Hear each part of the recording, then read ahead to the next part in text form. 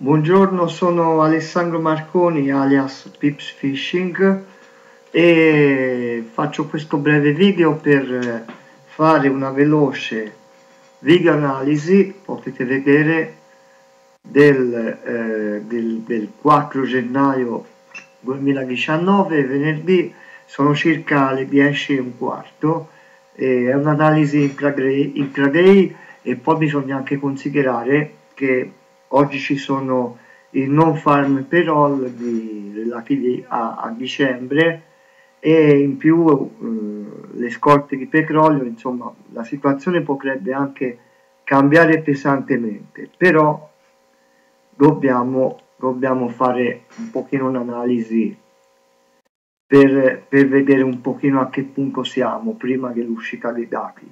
Ho visto dalle dal pannello della forza delle valute che il dollaro, il dollaro americano è molto debole su tutti, contro tutti gli altri cambi e quindi vedremo se anche il dato di oggi conferma quella debolezza.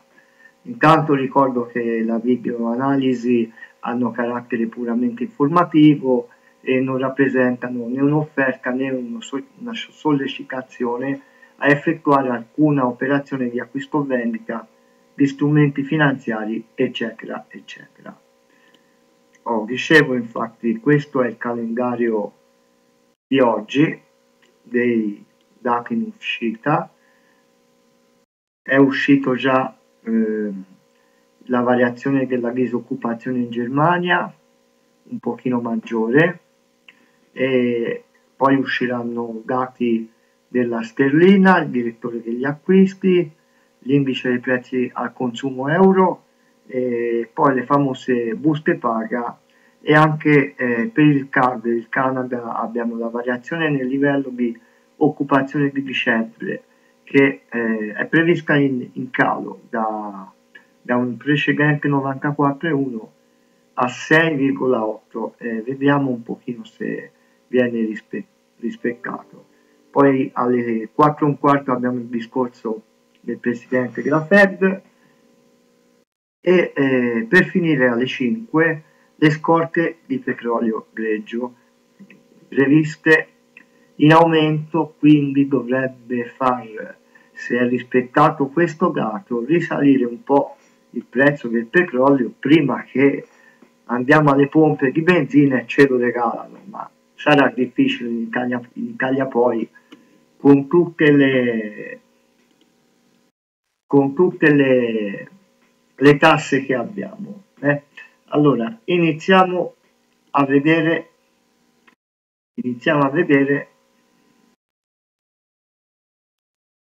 i grafici sempre con il prospetto, ovvero il template 3EMA, ovvero sia con le medie mobili, che è quello più semplice, con time frame abbiamo detto a 4 ore, ora arriva, è arrivato, mettiamolo sullo schermo principale, ok,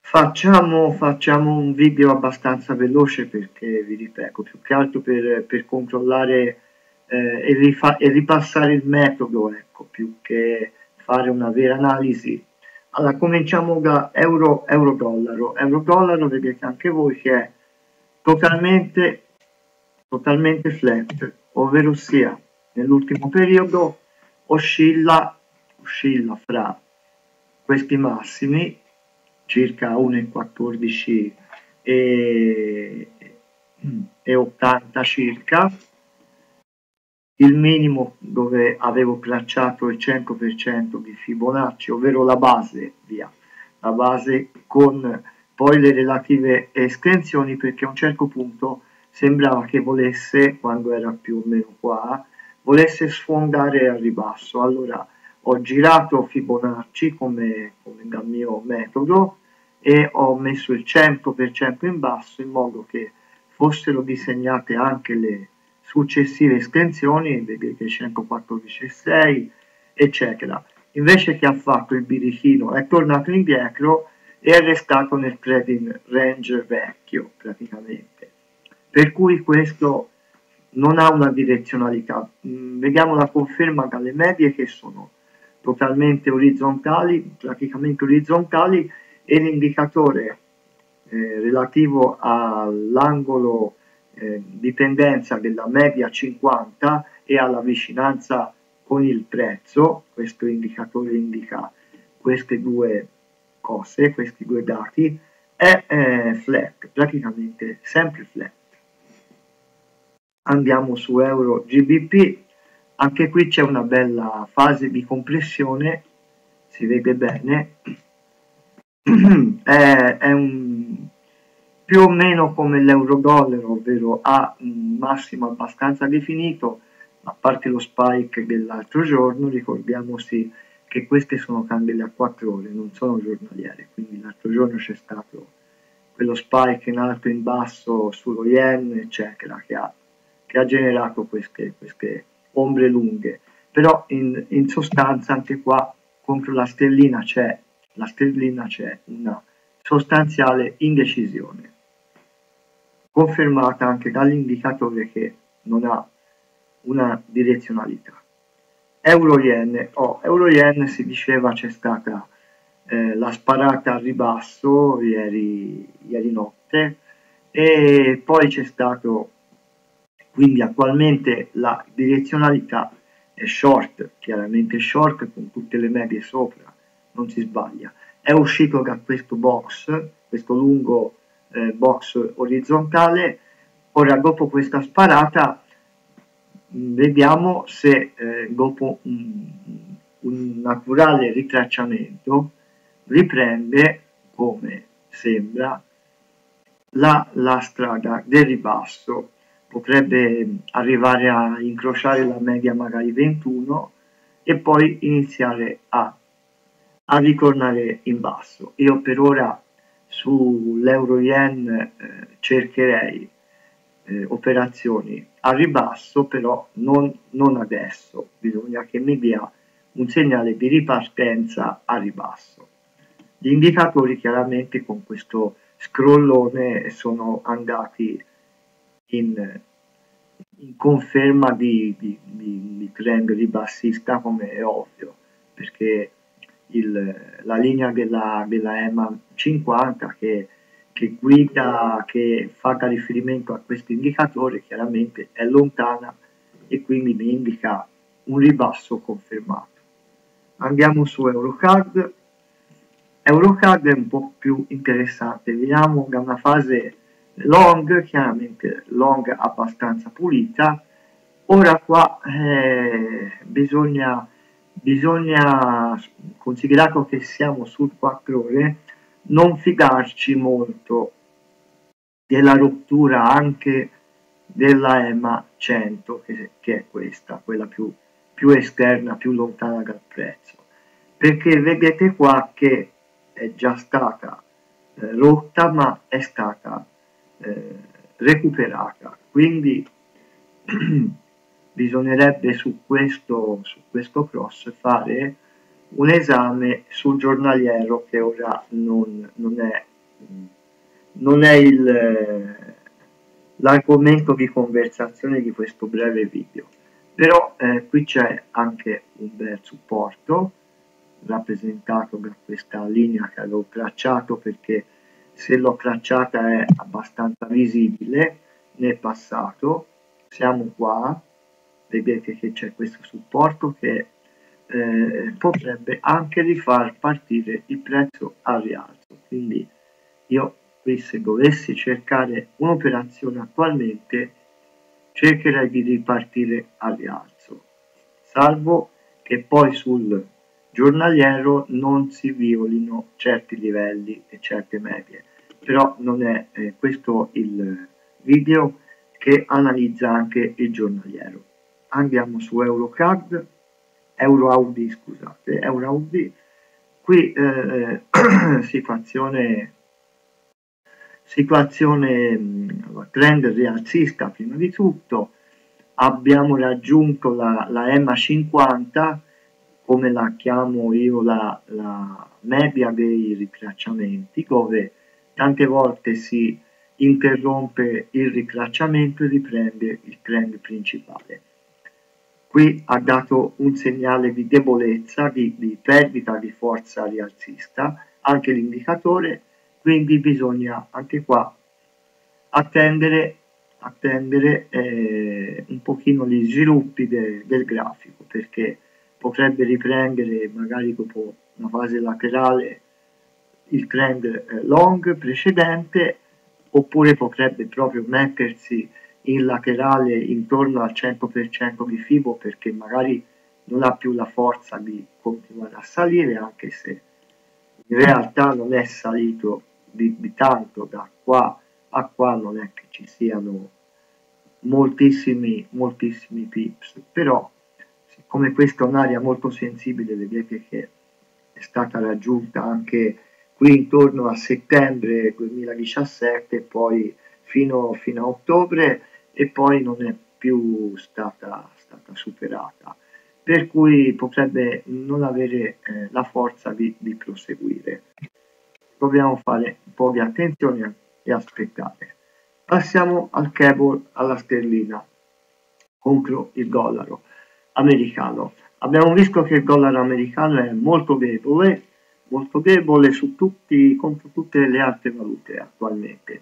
Eh, su, dal time frame a M15 a giornaliero in base alla, allo schema eh, di forza relativa delle valute che, che utilizziamo noi. Qui eh, vediamo che c'è a livello di analisi tecnica è, è molto semplice eh, la situazione, c'è questa linea tratteggiata che eh, avevo disegnato qualche giorno fa che è la resistenza di questa fascia qui in realtà poi eh, è stata la mettiamo è stata anche raddoppiata qua no? però qui eh, siamo molto vicini a questa resistenza e eh, sinceramente purtroppo vedete anche dalle medie come sono orizzontali praticamente non abbiamo, non abbiamo eh, spunti per, per operare per avere una direzionalità dichiarata, diciamo così.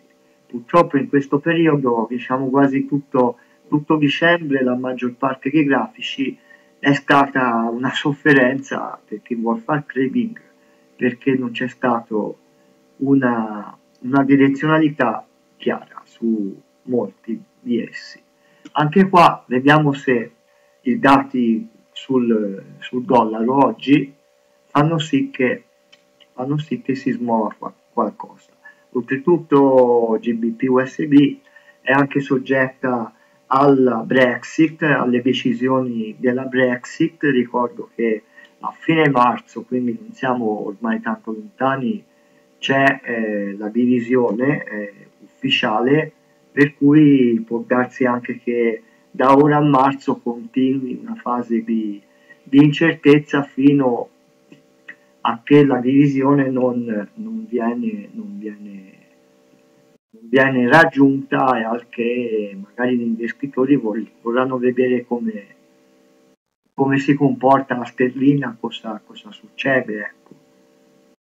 Quindi anche questa attualmente è in fase di range, con il punto, il punto di attenzione di questa resistenza a 1,27,46 diciamo 1,27 e quest'altro livellino 1,28 e, e 12 circa.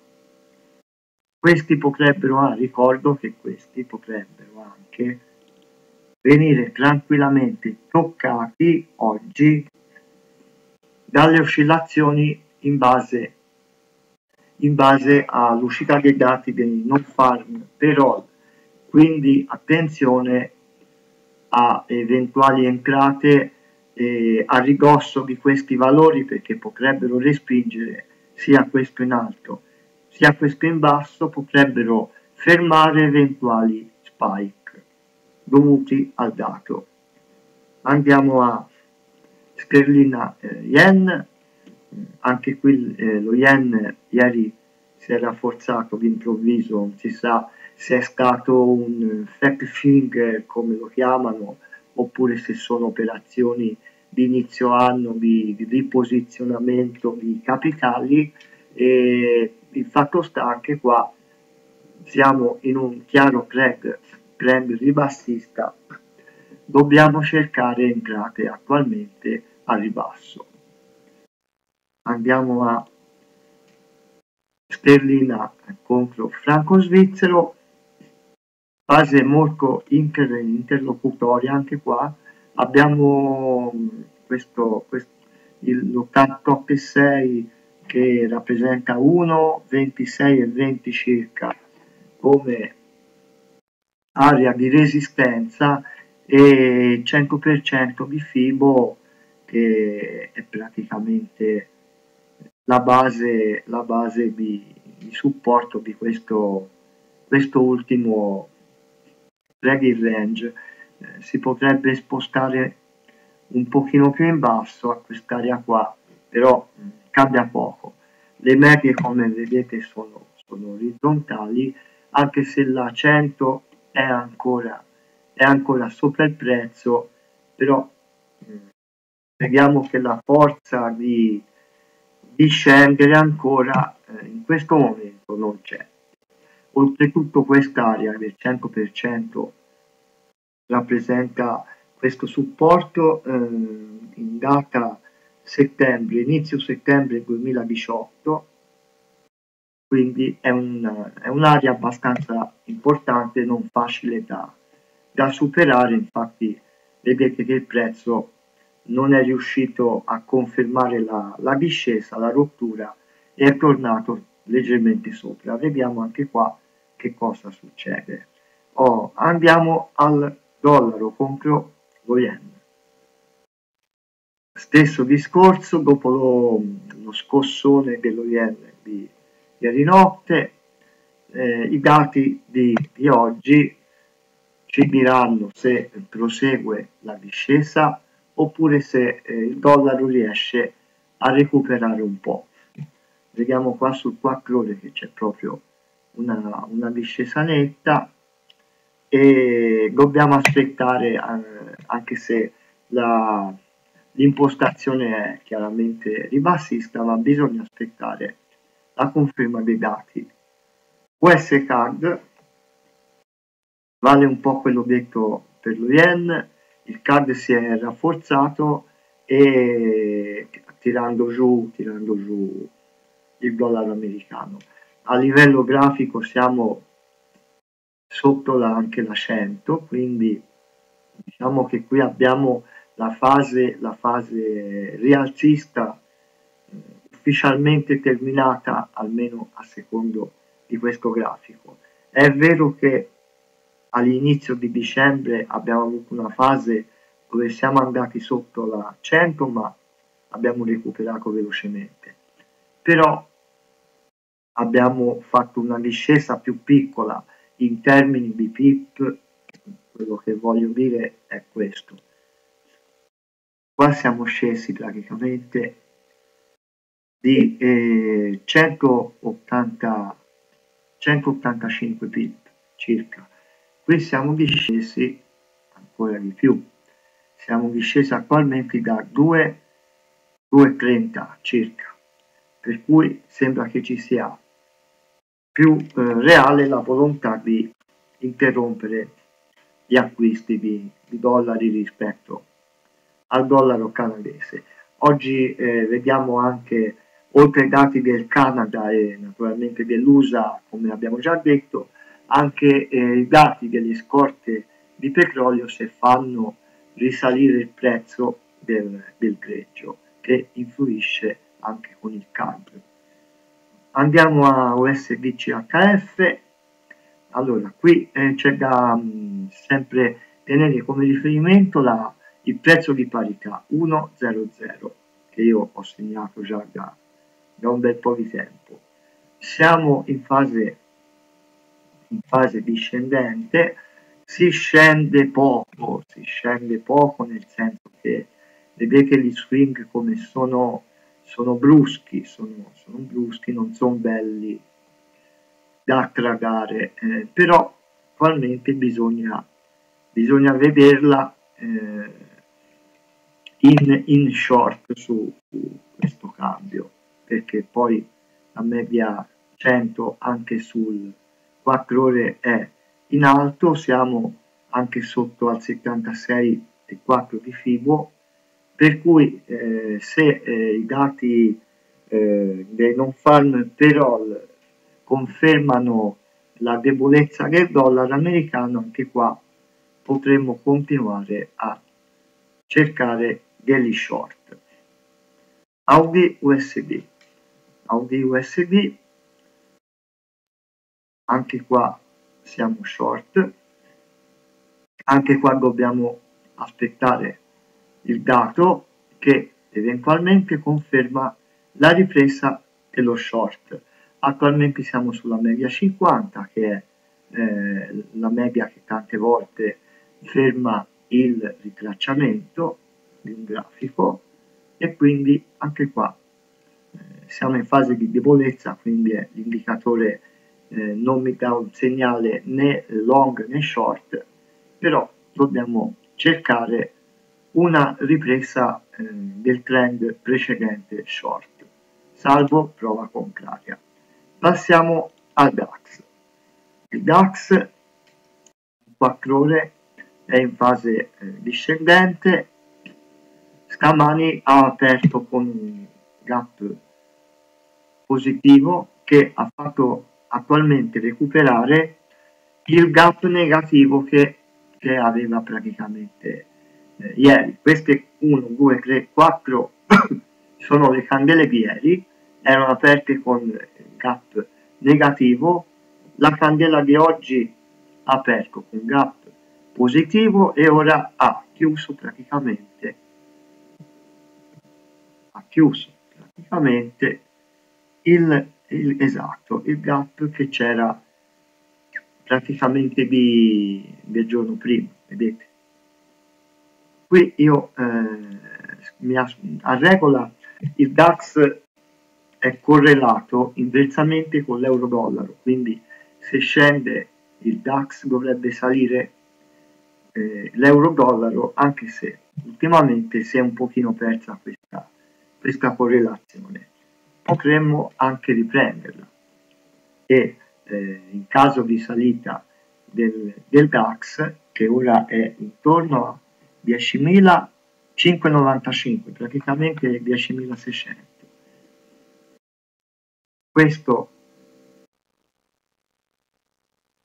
questa qua è una trend line ascendente, quindi in questo momento diciamo che il DAX sul 4 ore è in un è compresso in un triangolo perché questo non è molto, molto valido uno spike però questo livello è confermato da qua facciamo così quindi se rompe ora in compressione rialzista chiamiamolo così è, è una compressione rialzista se eh, rompe che vi dico più o meno il livello se rompe eh, 10.640 circa, allora potrebbe fare una fase di, di trend eh, long abbastanza duratura. Sale verso, sale verso la, la, media 50 in quel caso e, e, e, e ricomincia una fase duratura a rialzo perché tanto che si scende eh, vedete anche da voi che è tanto che, che scendiamo. Ok andiamo al petrolio. Petrolio che è sceso di, di molto. Si è fatto in termini di punti da qua si è fatto la bellezza di 353 punti. Mica, mica poco. Vediamo se è finita la fase di discesa. Qui eh, possiamo mettere al volo possiamo mettere al volo questa, questa base questa, questa base di, di supporto e vediamo se eh, qui ha già superato anche questa, questo massimo. Sembra che voglia risalire sembra veramente che questa volta voglia risalire e tornare almeno in aria in aria. Subito inserisci linee trend line facciamo quest'area qua. Facciamo quest'area qua. Ah vabbè c'è praticamente eh, Fibonacci a 50 e 60 circa. Al valore 50 e 60 potrebbe essere il prossimo obiettivo del petrolio. Quindi visione al rialzo. Attualmente visione al rialzo. Finiamo con l'oro. L'oro eh, ha fatto una bella fase di, di rialzo già. Ora eh, ecco eh, qui avevo messo volevo dirvi questo una linea orizzontale che mi poteva rappresentare un, un'interruzione della salita. In realtà un po' l'ha, eh, superata già questa linea era quota 1283 e si sposta un po', si sposta un po' qua a 1290 però io qui eh, ci vedrei, ci vedrei un ritracciamento non dico un'inversione ma almeno che faccia respirare un po' il prezzo. Per cui una, una discesa verso il 61,8 verso un 1275 circa potrei anche aspettarmela. Prima magari di riprendere la fase di salita questo è finito ora eh, come scritto nel titolo vediamo.